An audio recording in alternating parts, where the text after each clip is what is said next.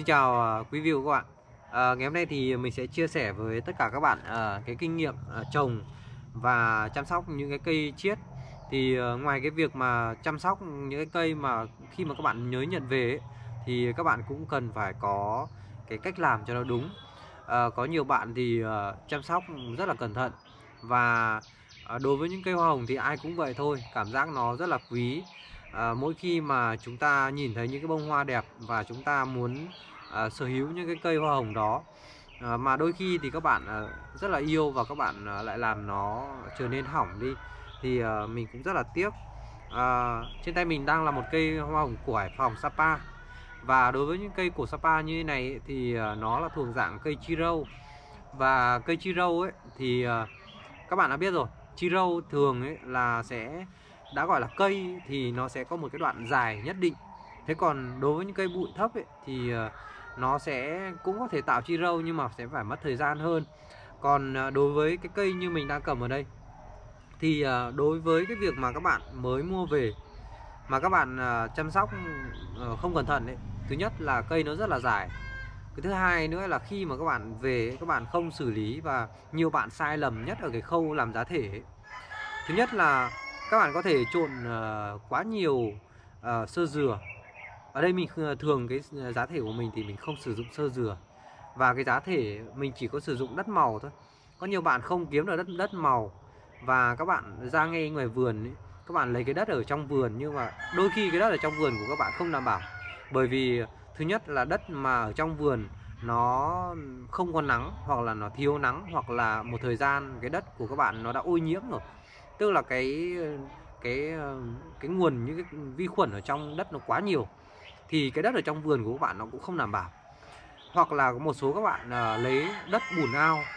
Đất bùn ao nếu như những cái ao mà uh, đất mà nó còn uh, sạch thì có thể sử dụng được. Còn đối với một số cái loại bùn ao mà các bạn sử dụng mà các bạn vớt lên mặc dù các bạn có phơi khô đi chăng nữa thì nó cũng không đảm bảo và một số các bạn sử dụng cái đất mà nó có chứa quá nhiều cát.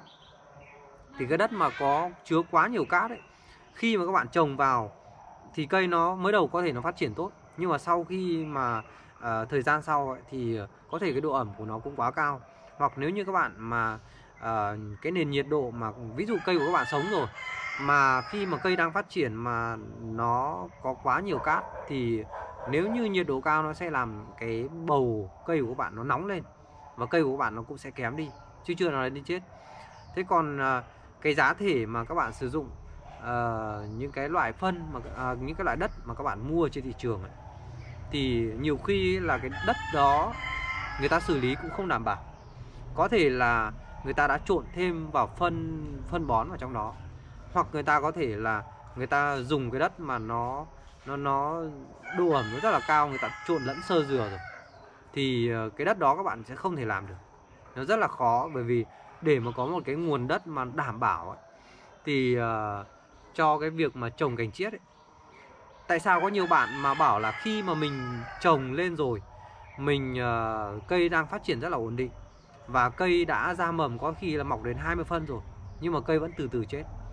Và cây thì cứ bị đen thân rồi thì cây bị uh, Ờ, đang phát triển như thế này nhưng mà nó bỗng dưng là nó héo nó và nó thối và nó chết. Thì uh, mình muốn nói với tất cả các bạn là cái nguồn giá thể ban đầu nó rất là quan trọng. Một cái giá thể nó phải uh, thứ nhất là phải sạch không bị uh, uh, ủ trong cái cái nguồn cái nguồn mà đất chết nó rất là lâu rồi thì nó không đảm bảo. Thì các bạn tốt nhất là các bạn nên kiếm được cái loại đất mà một là các bạn có thể sử, sử dụng đất phù sa. Thì cái đất phù sa thì ờ, có lẽ là rất là khó kiếm không phải bạn nào cũng kiếm được. Còn nếu như không có đất phù sa thì các bạn có thể sử dụng cái đất màu. À, một là các bạn có thể sử dụng cái đất mà người ta trồng uh, trồng rau. Trồng rau là rau không phải là không phải các bạn ở trên chung cư đâu nhé các bạn trên chung cư thì tìm cái đất màu đó thì không có. Thế còn uh, nếu như các bạn không có đất màu thì trước tiên ý, khi mà nhận cành chết về thì các bạn nên dâm vào trong cát. Cát ở đây thì ờ, có nhiều bạn dâm vào trong cát trắng. Thì ờ, cát trắng thì nó cũng không không được tốt lắm bởi vì cái độ mịn nó rất là cao. Có nhiều bạn thì ngâm vào trong cát vàng. Cát vàng này thứ nhất là nó cũng không đảm bảo bởi vì cát vàng cũng có thể nó sẽ chứa mặn và nó cũng sẽ làm hỏng cành chiết. Thì chỉ có cái cát đen ấy, các bạn sử dụng cát đen mà cát đen xây nhà. Mình muốn nói với tất cả các bạn là đối với những cành chiết này, mặc dù có trừ những cành mà nó nhiều rễ còn đối với những cái cành ví dụ như một cây chiro mình đang cầm ở đây mà rễ như các bạn đang nhìn ở đây, thì ờ, tất cả những cây như thế này thì đối với các bạn khi mà nhận về các bạn có được cát, các bạn dâm vào là tốt nhất bởi vì cát ấy, nó có một cái độ ẩm rất là tốt và nó thông thoáng và cát nó rất là mát.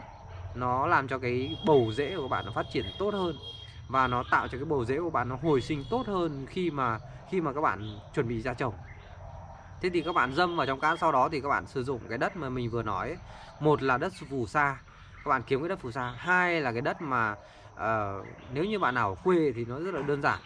Uh, ở những cái mà bãi người ta trồng uh, cây sắn này trồng khoai lang này trồng uh, rau màu này vân vân. Những cái loại đất đó thì các bạn có thể uh, nó rất là tươi xốp thì các bạn có thể lấy đất đó. Các bạn phơi nắng ra phơi nắng ấy thì ví dụ như các bạn mua một ờ, muốn muốn mua những cái cành chiết này thì các bạn khi mà các bạn mua rồi thì các bạn có thể chuẩn bị đất ngay trong cái thời gian mà các bạn bạn bạn mua đặt mua cây đó. Thì các bạn phơi nắng ra. Phơi nắng ở đây để làm gì? Phơi nắng để cho cái đất của các bạn nó nghỉ ngơi và nó diệt những cái vi khuẩn trong đó. Và đất của các bạn khi được phơi nắng thì nó sẽ rất là tươi sau đó thì các bạn sử dụng uh, chấu chấu thì ờ, tại sao gọi là chấu tươi? Chấu tươi tức là chấu cái vỏ chấu ấy, vừa sát với gạo ra và không hun. Các bạn lưu ý nếu như chấu đã hun ấy là trong đó nó có hàm lượng kali. Và tất nhiên là cũng được nhưng mà mình ờ, không mình không khuyến khích cái cách trồng ngành chiết ờ, bằng cái chấu hun. Thì các bạn chỉ cần sử dụng chấu tươi thôi.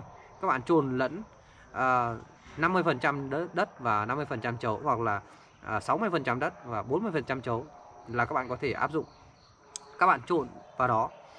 Thì ờ, khi mà các bạn trộn vào thì các bạn có thể phơi nắng uh, nắng 3 nắng 5 nắng hoặc 10 nắng uh, hoặc 15 nắng càng phơi nắng càng tốt không sao cả.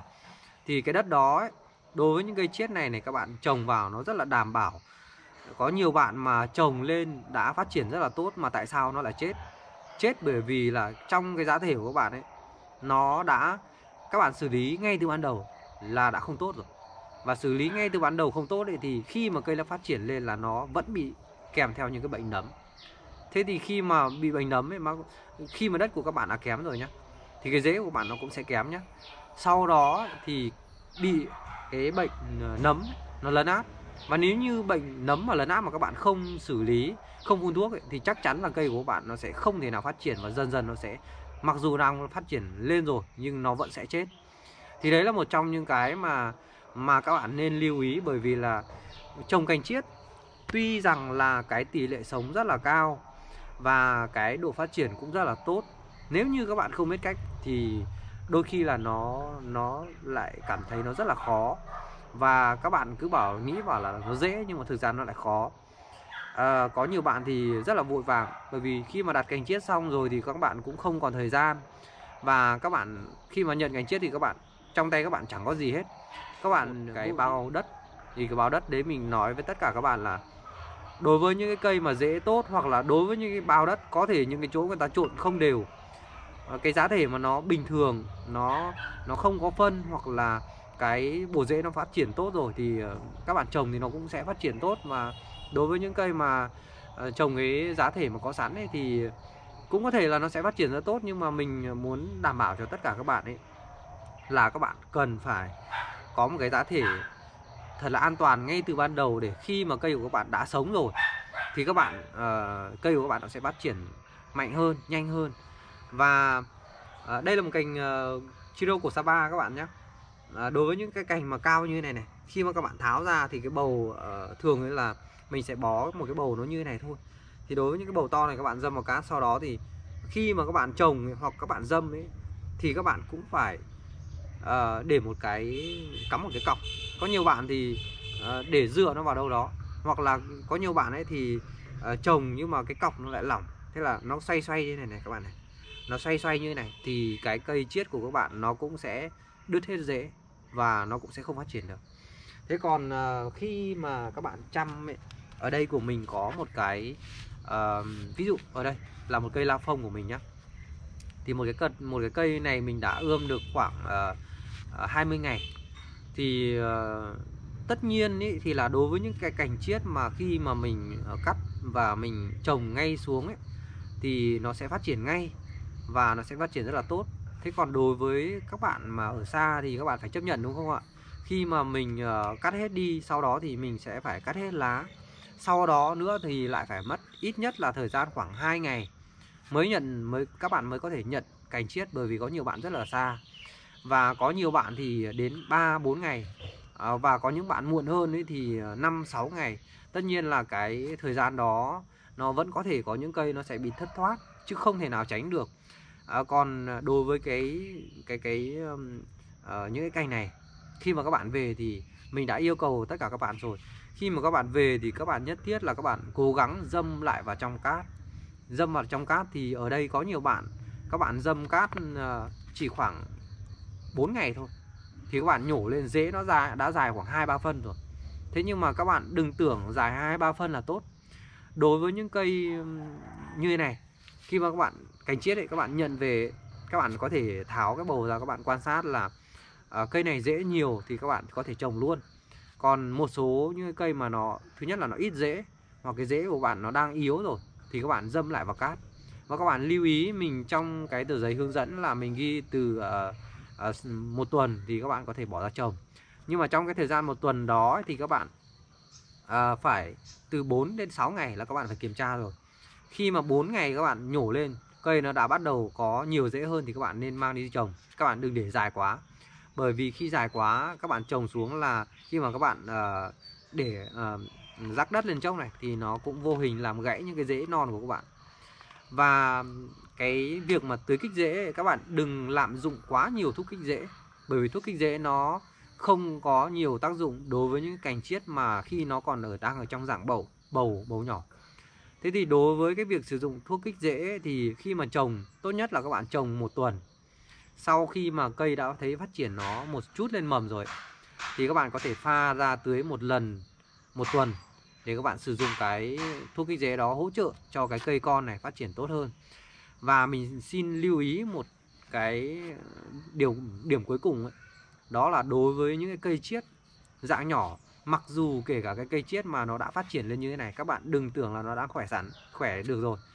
Mà các bạn phải lưu ý tuyệt đối tới cái độ ẩm. Ví dụ như cây mà đã phát triển lên lá như này thì các bạn có thể cho cây ra một cái nơi ánh sáng thật là nhiều và có thể phơi nắng. Tuy nhiên thì các bạn phải phải uh, giữ được cái độ ẩm thật là tốt. Và nếu như các bạn không có nhiều ánh sáng thì các bạn phải lưu ý nhiều nhất đến cái độ ẩm. Nếu như ít ánh sáng mà độ ẩm cao thì ờ, nó sẽ bị nấm và thối và nó ảnh hưởng nhiều nhất là ở cái rễ non. Tại sao những cây nhỏ này nó lại yếu? Bởi vì uh, nếu như những cái cây mà đã trồng lâu rồi thì cái bộ rễ nó đã tỏa và rễ nó rất là to, các bạn lưu ý rễ những cái cây già nó rễ nó rất là to. Và nó có thể nó bao bọc xung quanh cái chậu của các bạn. Nhưng đối với những cây cây non như thế này, là cây cảnh chiết, thì mặc dù rễ nó có nhiều nhưng mà rễ nó không to và nó chỉ là những cái rễ tơ thôi. Nếu như các bạn, cái độ ẩm của các bạn quá cao, thì ờ, nó sẽ làm cây của các bạn hỏng và nó sẽ thối. Và thối rễ thì đồng nghĩa với cây của các bạn nó sẽ bị, dễ bị vàng lá và nấm, độ ẩm cao thì các bạn phải thứ nhất là các bạn giữ độ ẩm vừa phải. Thứ hai nữa là các bạn cây đã lên như thế này các bạn phải để một nơi có ánh sáng và thông thoáng. Cái thứ ba ấy là khi mà cây lên thế này thì các bạn có thể sử dụng thuốc nấm. Và một cái điểm cuối cùng ấy là các bạn lưu ý cái việc bón phân. Bón phân thì các bạn đối với những cây nhỏ này các bạn lưu ý là bón thật ít. Và nếu như các bạn uh, sử dụng những loại phân loãng thì các bạn có thể tưới khoảng một tuần một lần hoặc là 10 ngày một lần. Các bạn chia nhỏ ra nó làm nhiều lần để bón cho cây. Các bạn đừng uh, tưới hai ba hôm các bạn tưới một lần nó không hấp thu được hết và nó sẽ làm cây bị sốc. Uh, đây là một uh, trong những cái chia sẻ nho nhỏ của mình thôi mình sẽ còn chia sẻ rất là nhiều. Nhưng mà bây giờ thì trời cũng rất là tối rồi và hy vọng là cái chia sẻ ngắn ngày hôm nay sẽ giúp cho một số các bạn trồng cành chiết vào những cái cây nhỏ như này này. Các bạn sẽ lưu ý nhiều hơn. Uh, mình rất vui được uh, chia sẻ với tất cả các bạn uh, những cái video hàng ngày và cách trồng và chăm sóc cây hoa hồng. À, các bạn xem video thì cũng đừng quên like và đăng ký kênh để uh, xem nhiều video mới nhất. À, xin chào và hẹn gặp lại tất cả các bạn ở video lần sau.